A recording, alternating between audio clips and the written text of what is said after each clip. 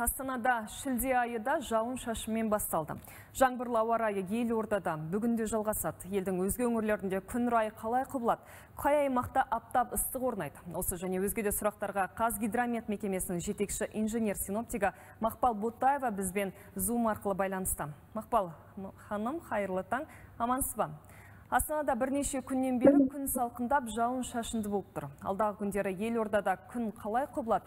Күн жалпы ысиды ма?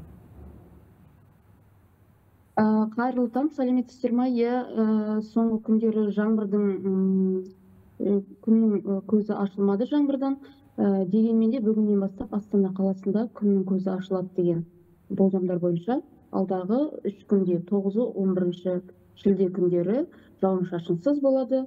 Түнгі уақыттарда температура жеті он екі градус он үш он бес градус шамасында болса күндізгі уақыттарда жиырма төрт жиырма алты градустан жиырма алты жиырма тоғыз градусқа дейін ауа температурасы көтеріледі. Сондай ақ желдің де екпіні күші азаяды.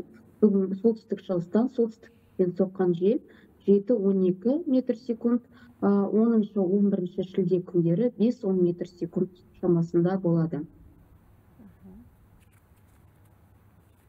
Ала биылғы жаз жауын шашынды болып тұр. Тіпті мысалы Жамбыл облысындағы елді мекендерді алсақ, су жұртты әбігерге салуда. Шаруалар да өнім шірейма деп қауіп қылып жатыр екен. Алдағы күндері елдің оңтүстігінде ауа температурасы қалай болады? Ә, жалпы қазіргі таңда төменгі қысым аймағы, яғни циклон еліміздің шығыс өңірлерінде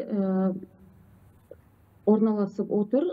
Сондықтан еліміздің шығыс оңтүстік шығыс өңірлерінде алдағы үш күнде жауын шашынның ең көп мөлшері түседі деген болжамдар бойынша ең көп мөлшері түседі. Яғни шығыс қазақстан абай алматы және жетісу облыстарының таулы аймақтарында алдағы үш күнде жауын шашынды болады. Жаңбыр жауып найзағай ойнап кейбір аймақтарда бұршақ болып дауыл тұруы ықтимал.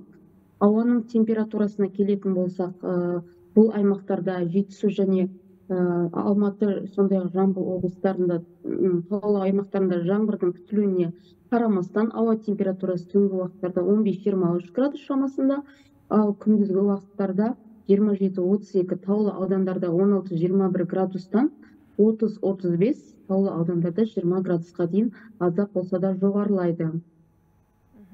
Сіз жаңа айтып өттіңіз шығыс қазақстан мен жетісу өңірлерін. Осы екі өңірде, таулы өңірлерінде, яғни жаңбырдан сел жүруі мүмкін деген ескерту айтылды. Сол қаншалықты рас? Ол рас, иә, осы жауып жатқан қазіргі күннің өзінде бірнеше метеостанцияларда жауын шашынның мөлшері нормадан жоғарылап отыр. Яғни алдағы үш күнде де осы жағдай сақталатын болғандықтан дауылдық ескерту жарияланды. Осы шығыс Қазақстан жетісу алматы облыстарының таулы аудандарында беткейлік аңның қалыптасуымен өзендерде су деңгейінің көтерілуі ықтимал. Яғни таулы аудандарға барған кезде абай болған жөн.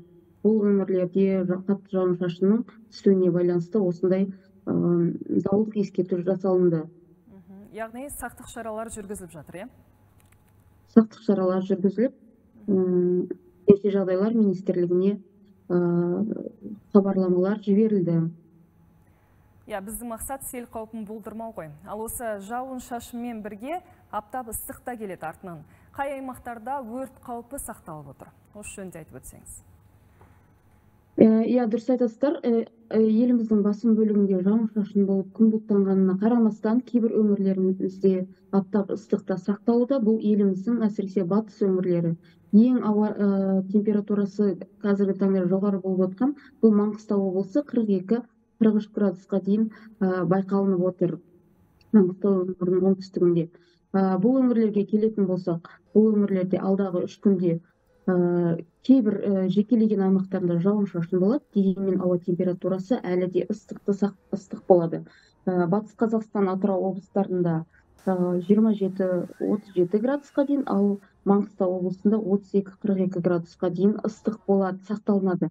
Сондықтан осы өңірлерде батыс қазақстан атырау маңғыстау сондай ақ қызылорда түркістан және жамбыл облыстарының кейбір аймақтарында жоғарғы өрт қаупі сақталады алдағы үш күнде. Рахмет мақпал ханым ақпаратыңызға құрметті көрермен айтып өтейік. Бізбен тікелей байланысқа шыққан қазгидромет мекемесінің жетекші инженер синоптигі мақпал ботаева болатын.